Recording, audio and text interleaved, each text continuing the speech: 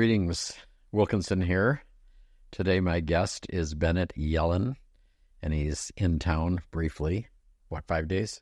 Five, six days, yes. Yeah. What's your definition of briefly? Oh, if it depends we're talking about briefs or not. But anyway, to start off, say hi to my people. Hello, Wilkinson fans. It's Bennett Yellin, and I'm here and looking forward to this. So they may not recognize your name, but they're going to recognize what you've done. So why don't you tell a little about yourself? Just well, start, start anywhere you want.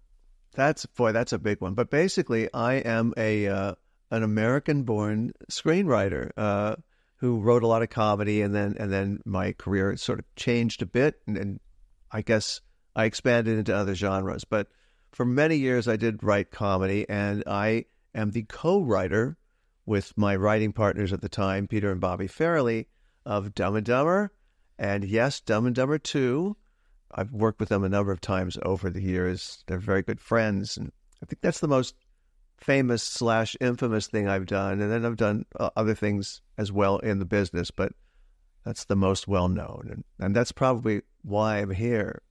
They probably why, ask questions. Why did you um, gravitate to comedy? Well, that's a very good question. All your questions will either be answered with a "That's a very good question" or "You can do better, Wilkinson." Why don't you say it once and then we'll get it out of the way? If I, I, if I can do better, tell me. I'm funny, and I've always been funny, and so the comedy is just. I've always wondered because I know that there are places where they have classes to teach comedy, mm-hmm. and I can understand how you might be able to teach the sort of the technique of like stand up things like that, right? And even for, to to write comedy, even to write it on a screen form or, pilot, there are technical things you could probably teach. But the bottom line is if you ain't funny inside, you ain't going to be funny outside. I just don't think that you can teach someone who's not funny to be funny. And I was funny. I, I just I had that perspective growing up. I, I always had a skewed perspective on the world and and would see the joke first. You know, I'd look and find the thing that made me laugh. You know, so psychiatrists and therapists out there, have at it if you want to figure out why uh, but I was a very happy child, uh, as far as I know, and what I can remember, except for the massive blackout period between between like uh, ages three and twenty two. No, I, I, was a very happy child growing up. I had a wonderful childhood. I was I was raised Orthodox Jewish. I wasn't born Orthodox Jewish, but I was raised Orthodox Jewish. I have two older sisters.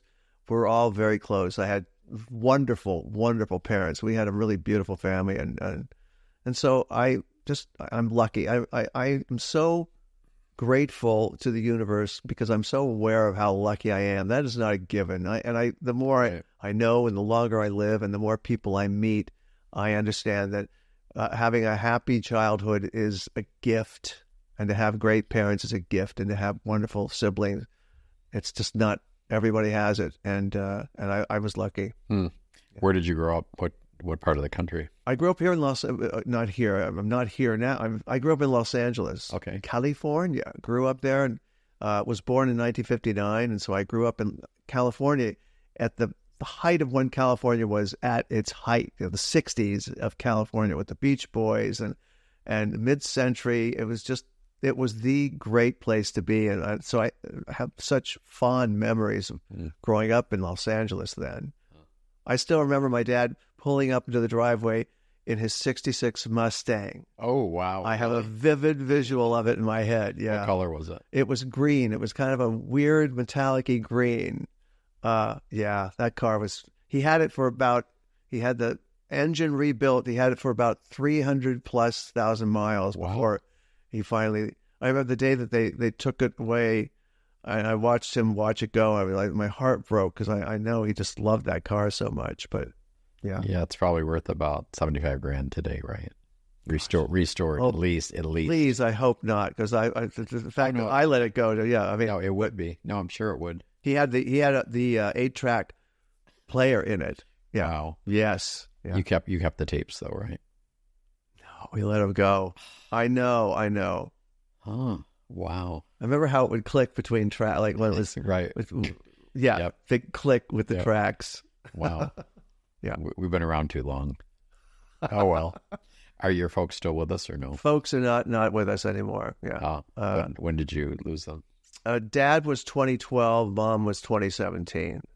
I, I, I miss them so much. I mean, we were really all very close. And I realized the other day because I also miss my dog. And when my dog passed in 2017, 2019, or, or two years ago, so um, uh, 21, 21, I, I thought about grief. You don't ever go. Um, anyone, listeners, I've got some bad news for you. you never get over the grief. Mm. You just learn how to accommodate it better. I think, you know, I think about them all the time, and in fact, in fact, I this is a little offshoot, but I don't think there's any there's any goal we're actually going for. No, I I'm a person who is very big on the idea of gratitude. Uh, my, my, gratitude that I'm alive, that I'm healthy, I'm vertical still because of, of, so many things I've done in my life that didn't guarantee that. The fact right. that I can string three words together that maybe make sense, right. you know. Right. And so, uh, I, I, since I like gratitude so much, I was thinking, what can I do to add more gratitude to my day? I mean, there must be something. And then I remembered that my Orthodox Jewish father would pray before he ate and after he ate. He always did. I mean, so that's several times a day. The man would pray. And I thought, well, Bennett, you know, why don't you come up with a prayer, your own prayer? It doesn't have to be in Hebrew because I never I went to Hebrew school and I could I could phonate, I could actually read the Hebrew, but I didn't know what it meant. And when I'd look on the left side of the prayer book and temple, the translation was so awful. You know, it was all poetic. It was like the hills skip like rams. You know, I'm like, what does this mean? So I said, why don't you come up with your own prayer in English? You know, and every time you do, you're honoring Dad. You're remembering him. So You'd think once I came up with this lovely idea, it would be easy to implement. It took me months, close to a year, Wilkinson, to Seriously. because you you me when, when I eat, you're just hungry. You go right into eating without stopping, without thinking, and I, I had to stop and learn. Stop, pray, think about it. You know, but I love it because several times a day I, I remember my father by praying, and, and he's it, the prayer includes a mention of him, and it's nice. What was your question? Who knows? I don't know. Yeah, I don't know. I'm old. It's memory loss. We're, we're, and we're getting older. there you go. Who are you praying to when you do that?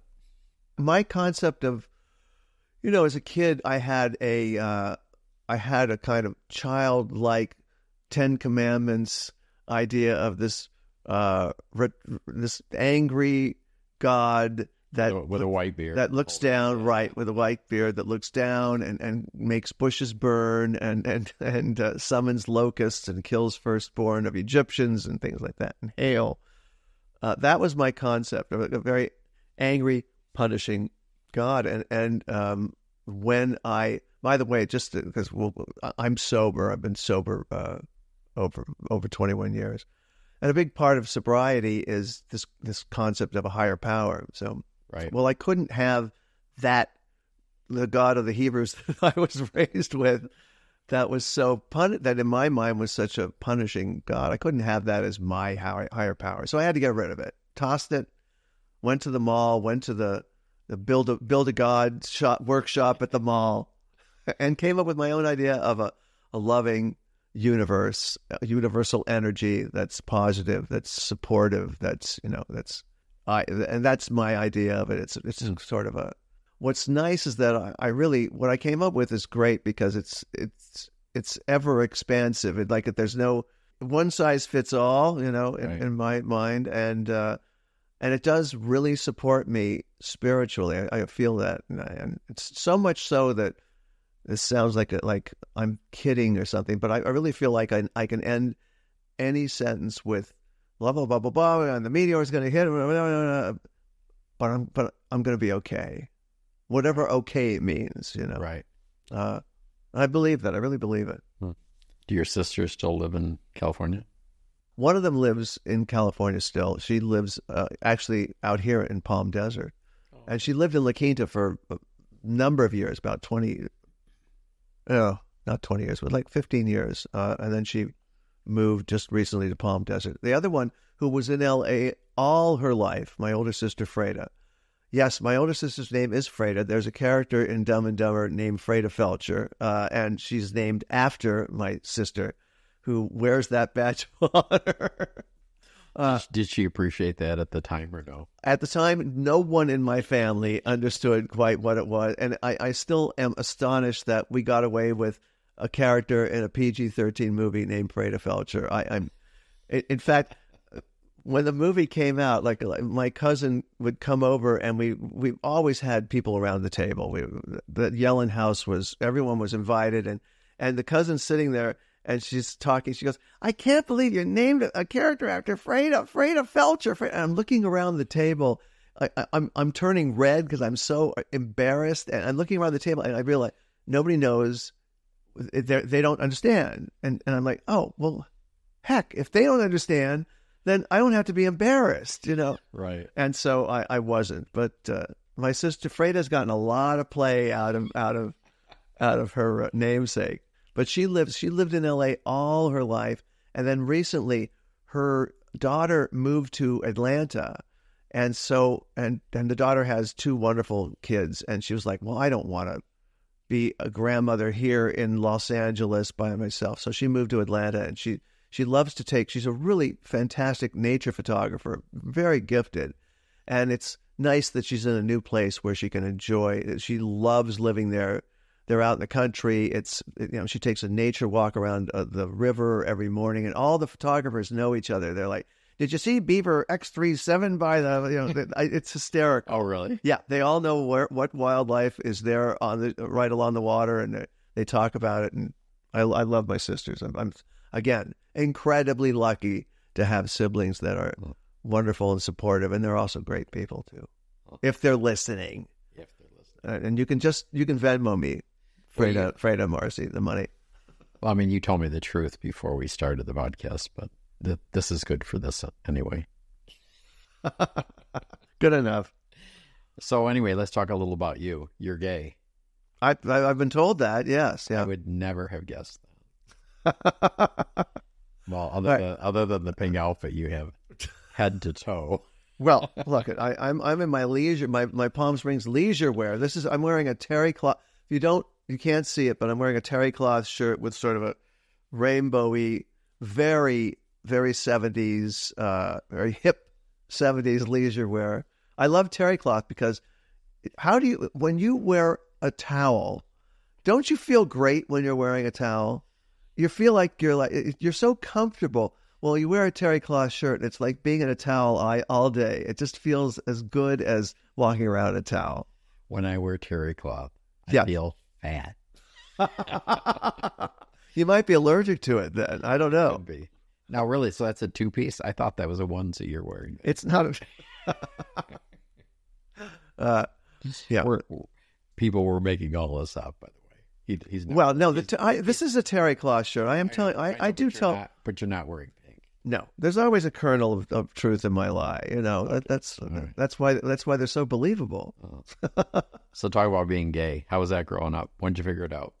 Well, like I love the fact that you're assuming I have, but you know, at, at, at coming up on 64. But uh, I knew. I, I, here's what I knew as a, as a child. Remember, I'm born in '59, so you know, I'm oh, I'm watching television in the '60s, and uh, and I'm I'm getting a like I, I love Star Trek. I love it because the aliens always manage to rip Captain Kirk's shirt off right like at chest level. Just there'd be a, a, a rip and there's his chest would be shining through.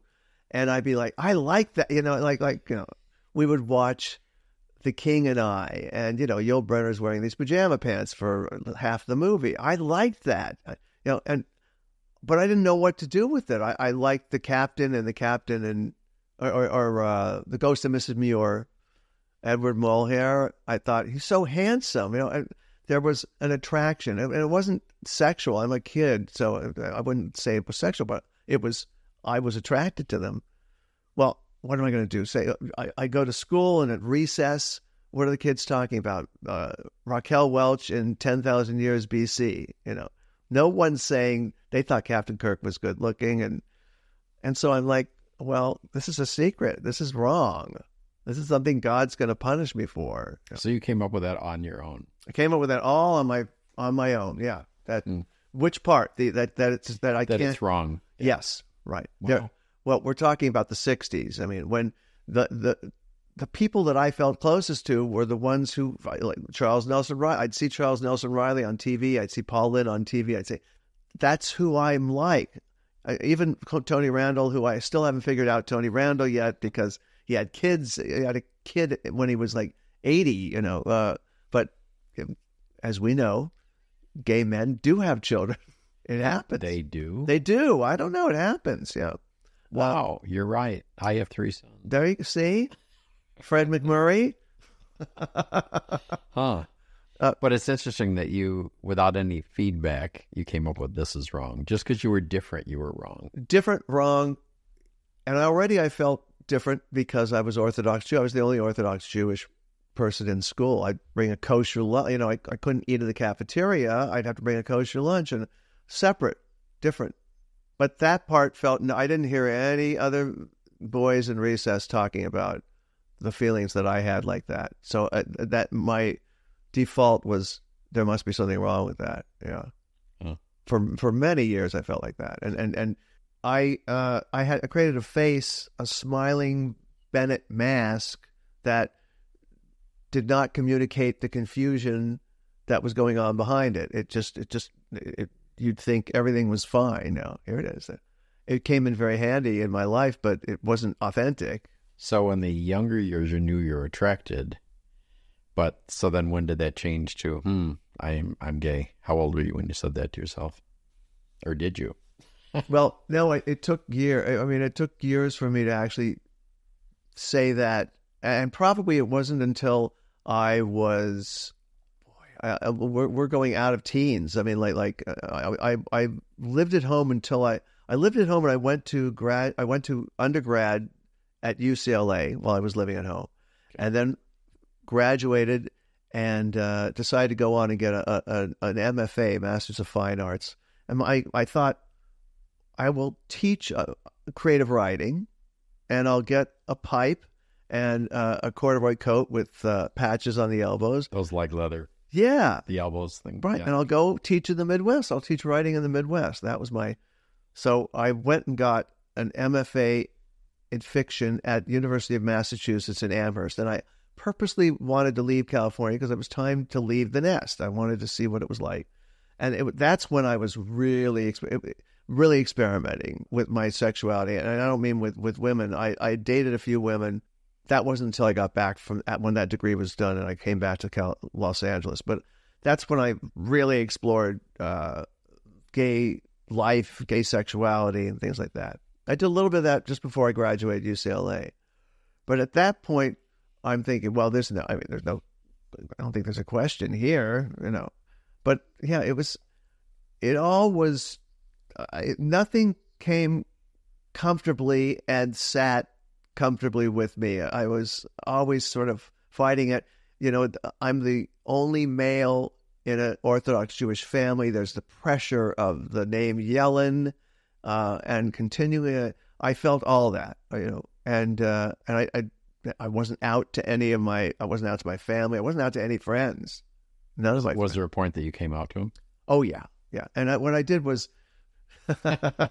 Uh, sometimes my lizard brain gets gets too much control of me. Uh, I didn't come out to them until I came to them with a whole pile of, of woes, and, and that was just stuck amongst them. I, I I came out to them after the guy that I had been dating bankrupted me, and and all that, and I said like, okay, uh, mom and dad, I'm I'm bankrupt and I'm gay because like I just threw it in there with a whole bunch of stuff so that maybe they would like, it would seem less of the.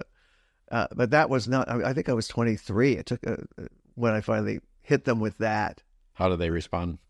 I remember they're Orthodox Jewish, right? But uh, I, my mom said, "Well, uh, don't expect me to." This was God, 1992, or don't don't expect me to open up some champagne with what she said. My mom was very dry.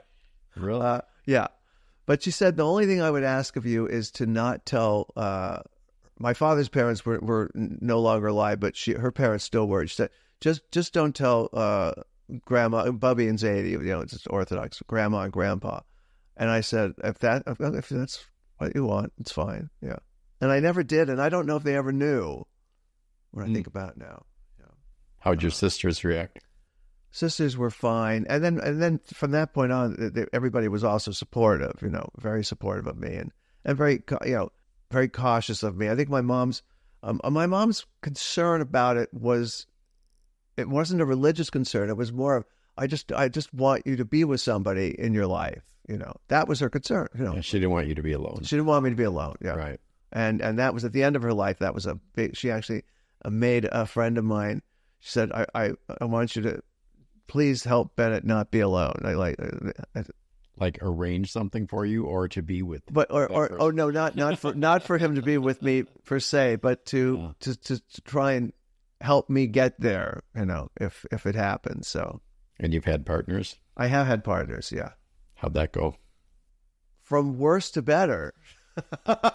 Is it better because you're not with any of them now, or what? No, it's better because I got better. I, I learned so much in between them all. I, there was so much fumbling and confusion and, and so many wrong moves and so much, yeah, so many things that I, I wanted that I would want to change that I did try and change. And I think what I do, I do my best evolving when I'm single, but then I'm evolved and ready to take it into another, you know. I also don't I've spent so much of my life alone that I don't really feel a powerful urge to be with somebody. Although I, I love being with somebody, I like relationships, and I, I'm ready for the next one should it manifest. I, I honestly Mm. believe that I think it will. You know, I, even though as I get older, it gets hard. It's harder to meet somebody.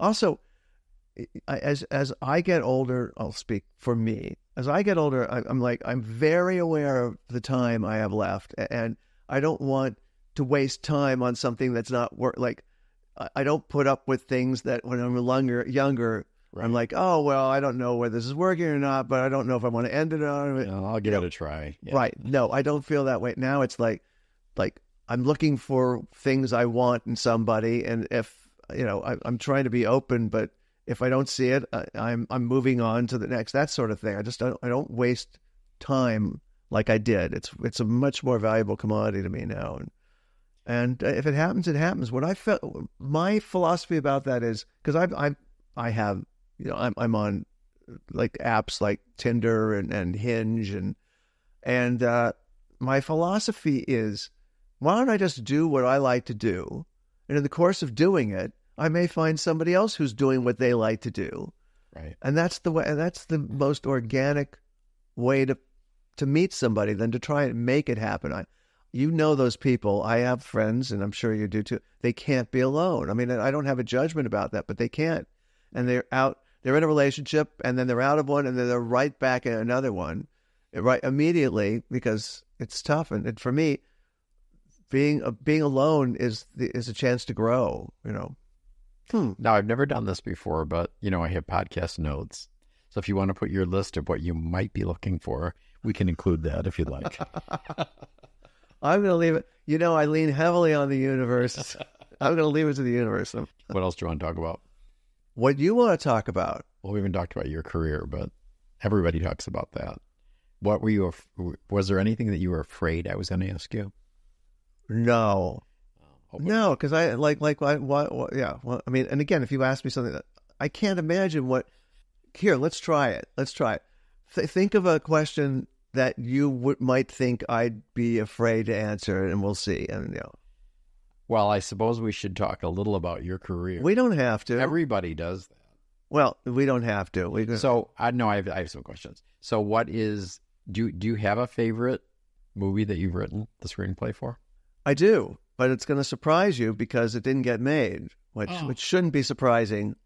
Um, Well, maybe there'll be a producer listening or something. well, this one can't because of the rights, but basically, we were Warner Brothers at one point was going to produce uh, a film version of the Beverly Hillbillies, and Peter Farrelly and Bobby Farrelly and I went in to meet on that, and we got the job, and we wrote this script that was terrific. It was really, we were just in the zone on it. And I, I mean, I, I love Dumb and Dumber, and, and the, the movie is what we wrote. It, it, it is exactly what we wrote. But this script for the Beverly Hillbillies was hysterical. And then it didn't get produced. And, and what typically happens is it goes into turnaround, you know. And, and a project like that where there's rights and everything like that, it's a little more complicated. But ultimately, it went to turnaround and it went, the rights went to 20th Century Fox.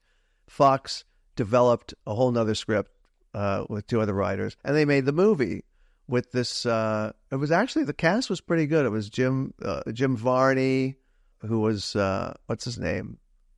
Hey Vern, uh, Ernest. Jim Okay. Varney was was uh, was the head of the family, and it, it was a really good cast. So was it called Beverly? It was called the Beverly Hillbillies. Okay, yeah, So it got it got made, and it wasn't very good. And what Peter Farrelly heard years later was that the director of it, Penelope Spheeris, is a good director. She was halfway through shooting the movie, and someone slipped her our script of the Beverly Hillbillies. She read it. She closed it at the end of Act One, and she said, "I didn't even. I, I was so depressed. I didn't even want to continue." really. Yeah, and that's a lovely compliment in a weird, in a in a skewed way. But that script was just terrific. We we had such a funny introduction of how they get the money because you think that it's just you think it, The oil money. it's the oil, but our, Right. we had a whole different take on it that was genius, and so I've always been thrilled about that. And by the way, we we were talking about before.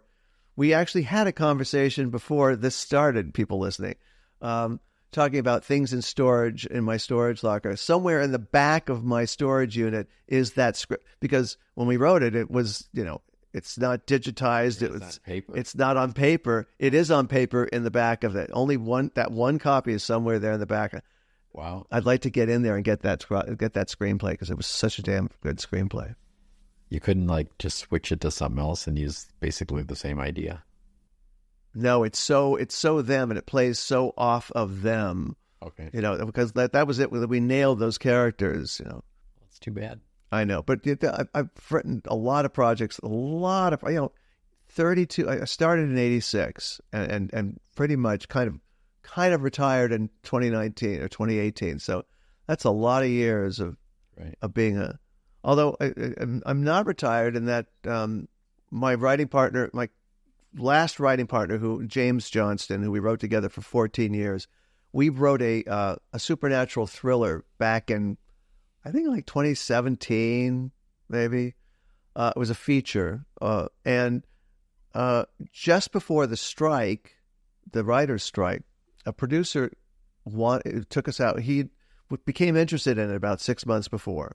That's always exciting because it, it's a script you've already written. It's a Right. spec script, meaning it's speculative. There's no no rights to it whatsoever. And he came in. He was interested. And the Friday before the strike started, he took us to breakfast and he said, "Guys, is the strike really happening?" And we said, "Yeah, from all we can tell, and, and from the guild, you know, the meetings we've had, yeah." And he said, "Well, I want to buy." There was literally three days before. He said, "I want to buy traction." We're like, "Okay, great, we're thrilled." So we had to do fast running around uh, to make sure the contracts were cool and all that before the strike started, and we did. We sold this script three days before, uh, uh, down to the wire when the strike started. And then, of course, as a result of the strike, we can't work on it. So the we sold it because of the strike, and we can't work on it because of the strike. And that's the the, the So how does that work? So he's doing some preliminary stuff himself on it in the well, he owns or- it. Yeah, Right. he he can do whatever he wants to it. So will he bring you back in later? Is that part of the deal, or that, that it, it it kind of was, but he really can't do what he wants, and, and he can't while the strike is on. We can't work on it. So well, and you can't even sell a script during the strike? No, you can't. You can't. You can't work in, in, in any capacity with material. You can't. It's it's the pencils down is what they. It's the, the term for it. Wow, it's a kind of a tangent, but where's the strike stuff at right now? It's nowhere. The last word that we got, basically, the bottom line is that producers and the studios, where they're willing to bend, are the things that aren't are, the least important to us. You know, what a shock. So, and the stuff that we're we're adamant about are the, are the things that they're adamant about not bending on. So I think we're apart. I don't. At one point, maybe uh, three weeks ago, we heard rumblings that it might be settled by Labor Day. You know, well now I think it, it won't be settled before the end of the year, which wow. is yeah, which is really. I know it's a dismal thought, but so from a writer standpoint, what's the, what are the main beefs? I'm the. By the way, preface. I think I'm the worst spokesperson, absolute worst spokesperson yeah. for this. But there's several things that stand out on this one. One is that, and this happens every, probably around every 15 years or so. New technologies. I can't remember what the what the music that music app was like 15 years ago, where all they had to reconceive how you pay the artist because uh, it, there was a word for it. It was like uh, not Spotify because Spotify is new, but there was a new app or, or a new way of streaming music right. basically 15 years ago. And, and so they had to reconceive how they're going to pay the artists and everything like that.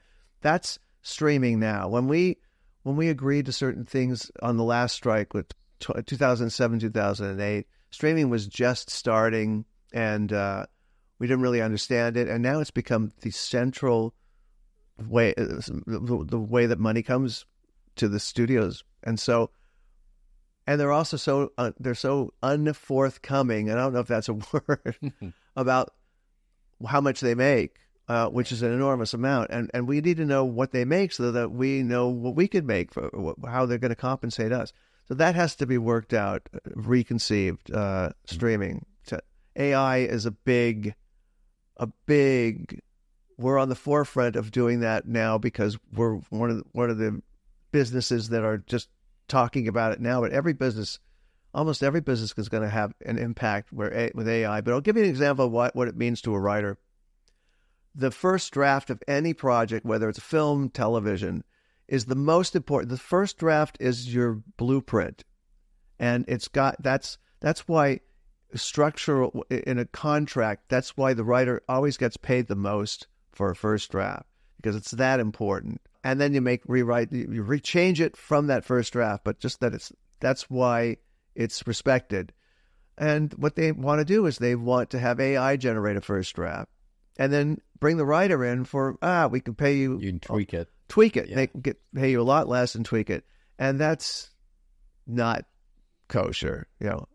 Uh, and it, it won't work like that. I call it instead of artificial intelligence, I, I, I, call it artificial regurgitation because really it just takes the information right. and only knows what it right and shakes already. it up right and then spits it out again. And things that are missing is the human things, you know, uh, which uh, affect it. It's a big thing, you know. Even like in Dumb and Dumber, some a lot of the jokes in Dumb and Dumber came from experiences that we had. You know, Bobby Farrelly had a, a date where they they and they came into her place and, and it, she went upstairs and he had to go to the bathroom really badly like his his bowels were going to explode and so he ran to the, the nearest toilet and and heard her upstairs going oh don't use the downstairs bathroom toilet's broken too late right too late uh, that's uh, that didn't happen to ai that's that not gonna, so, that scene was so funny that's not going to happen to ai by the way that scene the first cut of dumb was long i mean that's the first cuts are always long. It was like two hours, 40 minutes, whatever. Whoa. Yeah. Oh, yeah. Long. Like a lot of extra stuff. And Jeff Daniels' manager was sitting next to me. And the bathroom scene went on for two minutes at least. At least with the, like extra stuff. Like he's, he takes the, rests the toilet uh, and, and is dumping it out the window. I mean, yeah, all that and I remember he turned to me and his, his, his face was absolutely ashen. He said, You're cutting all this, aren't you? And I said, Oh, absolutely. maybe not all of it. Oh, maybe not all. Wow. So they really want to do the first draft. Huh? I know that the actors are all bitching about the. Uh... Well, think if you're a voice actor, yeah. uh, you're you're gone. Yeah. It, it, in in two minutes, your your your voice is recorded, integrated, use it, and you're gone. Yeah. yeah. I mean, it's it, it's for actors, and also they they're getting more sophisticated. It's all the sophistication and the improvement of AI is exponential It's going to be. So even what what seems clunky now in terms of the writing it produces, it's going to get to a point where it's you cannot tell fast probably, and there's got to be there's got to be some rules about it. I just have to. Did you see the new uh, Harrison Ford movie? Which one? The uh, the the Indiana Jones? Yeah. yeah, That was. I mean, we were all sitting there wondering how did they do this? yeah. Right, like the, the young that made him When he was- young. when he was younger. Yeah, Yeah, that was that was crazy. Because and they did it. I, I don't watch. That was the first one of those. I hate to say that I've ever seen. that was the first. You, you, Yeah. the last one was the first one yeah, for the- you. Yeah, and my friends, of course, go to one wall, and they they were saying, you know, they're the ones that were puzzled more because it's like they remember him they from the first yeah, one. They didn't take that from any other Right, movie. It wasn't right. It like wasn't a- like extra footage from yeah, from number one. It was No, it real was like- new stuff. like there he is. It, it's yeah. It's it, it will be. I, my concern about it is the election because it, it's becoming easier and easier to create material where it looks like someone's saying something, and uh, and you can create material where they didn't say it, and Well, I exactly. I saw actually a clip. It was a politician talking to a group, and he showed a video, and he said, "That's not me. I did not say that. yeah. didn't say any of that." Imagine that, and and this is going to shock you, It's on the internet, so it must be true. There are people. There are people out there who, before this technology, believed what they saw and heard. You know, uh, and it's scary uh, that it's just going to be. I won't know who's telling the truth. There, you know, there was a point. Children gather round. there was a point in in time where there was something called the truth, and there was something that was the untruth, and, and it, they were distinct, and you knew the difference. And Right. it's all blur now. It's scary to me. That's a whole. Let's let's talk about happy things. Well, are all of the politicians really still alive? There's another. Oh, I would love to find out. No, I would be thrilled. That would be a holiday for me. There you go. huh. Anything else pressing that you want to talk about? Pressing? No, what's pressing?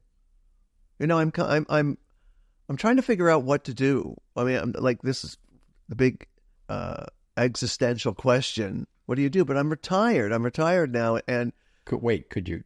Do you cook? I don't cook. I, I eat. I do the I, I do the other side of cooking. I eat. You could learn to cook and open a French bakery.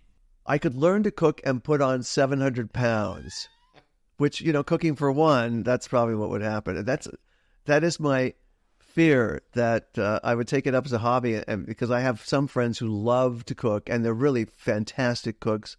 And I love to be the recipient. But uh, if I were to do it myself and bake, I love cooking. I like everything that's going to make me fat.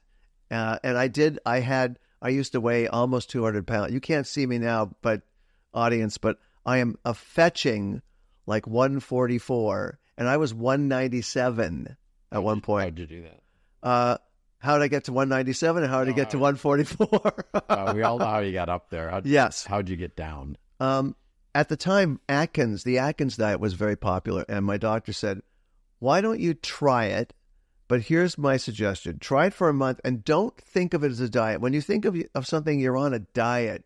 You think it's like a race you're running, and you're going to hit your goal and you're going to stop. You know, no, uh, don't look at it like that. Look at it as like a lifestyle change. See how you feel with eating the things you're eating, Right. and and that was eye opening because because I I realized that I was probably a carb addict. I don't know. I not was. I probably am still. I I love. I eat the carbs. I get the high. I get the drop. You know, just like a drug. Mm. And so I, I liked it. I liked eating healthier foods, uh, low carbs, and things like that. Back then, it was really it was harder to find. We're talking 2002, 2000. Harder to find decent low carb foods. They were all low carb board. Right. Cardboard. I I mean, was going to say, yeah. that really was what it tasted like. There was Atkins was one of the few companies making them. So there, there's so many, so that it's basically a low carb, higher fat, higher protein. yeah, because the, the things that like bacon is low carb and and and, butter and uh, and and so those things. And you think that's crazy that you could eat that stuff and lose weight, but you can. And and I also I think I the first ten pounds or twenty pounds I, I went to Weight Watchers, which was hilarious because you go in and and you'd have to come in like once a week to weigh yourself, you know, and the women would be taking off their jewelry. Seriously. yeah, yeah, like that's going to add a few pounds. Well, I remember my ex-wife was on that. We lived in a cul-de-sac at the time, and uh, so she'd pay every week, and she wasn't really losing any weight. And I go, okay, why don't we do this? I'll take the scale out into the cul-de-sac, and you can get on it, and I'll have a mega. You know, I'll just announce to the neighborhood what you what you weigh Yeah, the shame every diet. week, Yes, and that way we'll save some bucks. right. She didn't go for it. No, no, but it's an idea to try the shame diet. I like it. Yeah, no. So that uh, I realized I really liked, I liked the way I felt, and then and then and then once once you keep it off, and and you know, and once you get it off, and once you get your for me, I'll speak for me, get my body back into shape and everything like that, and I'm I'm you you're like. I I will not go back. You're you're adamant about it. I don't w- want to return to that. So you become very. I'm very proactive about it. And now I do, and I really like it. I do this um, intermittent fasting. I knew you were going to say. That. Yeah, yeah. I should have left. I should have like left a blank and let you fill it in. That works for me. And what a lot of a lot of losing weight requires rewiring your brain. The way you think about food, the way you eat food. That's that's a big element of it that you don't. That that's not. It's not uh, addressed by just exercise and diet. And um, and I've noticed that, like even with intermittent fasting, I don't. I so I do the eight hour eight hour window of eating, and then you don't eat outside that eight hour window. So sixteen hours you don't eat, and eight hours. So what? What are your cutoffs? Is it like seven at night?